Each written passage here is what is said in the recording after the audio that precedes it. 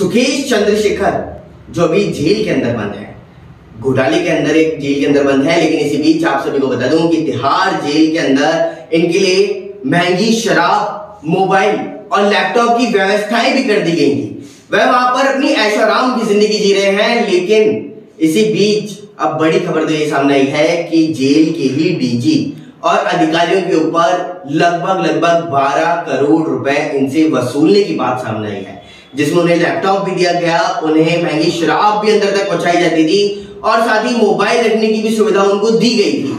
तो इससे आप अंदाज़ा लगा सकते हैं कि जेल के अंदर भी किस किस प्रकार की व्यवस्थाएँ की जाती हैं और इसके लिए जेल के डीजी और अधिकारियों के ऊपर 12 करोड़ रुपए लेने की बात भी सामने आती हुई सूत्रों के मुताबिक नज़र आई है। साथ ही इसमें बयासी लोगों के ऊपर अभी केस दर्ज कर लिया गया है। क्या कुछ ये मामला बयां कर रहा है? सीधा रूबरू कराते हैं हमारे रिपोर्ट से।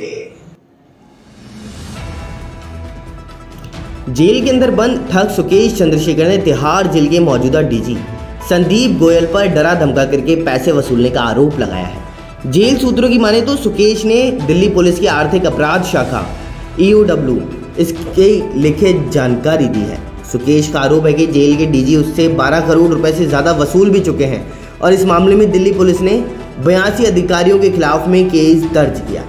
ये सभी जाँच एजेंसी के निशाने पर हैं और इनमें से 19 लोग गिरफ़्तार भी हो चुके हैं। इन अधिकारियों के ऊपर आरोप है कि सुकेश जब रोहिणी जेल के अंदर बंद था, तब उसने अपनी सुख सुविधाओं और आराम के लिए जेल प्रशासन से लेकर के कई कर्मचारियों और अधिकारियों को पाँच हज़ार रुपये से लेकर के लाखों रुपए महीने दिए थे।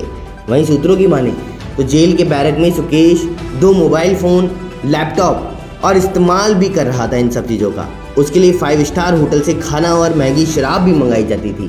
फ़ोन के ज़रिए पता चला कि सुकेश के संपर्क में दीपक, रमानी, पिंकी, ईरानी और बी, मोहन रज के अलावा कई अन्य लोग भी शामिल थे।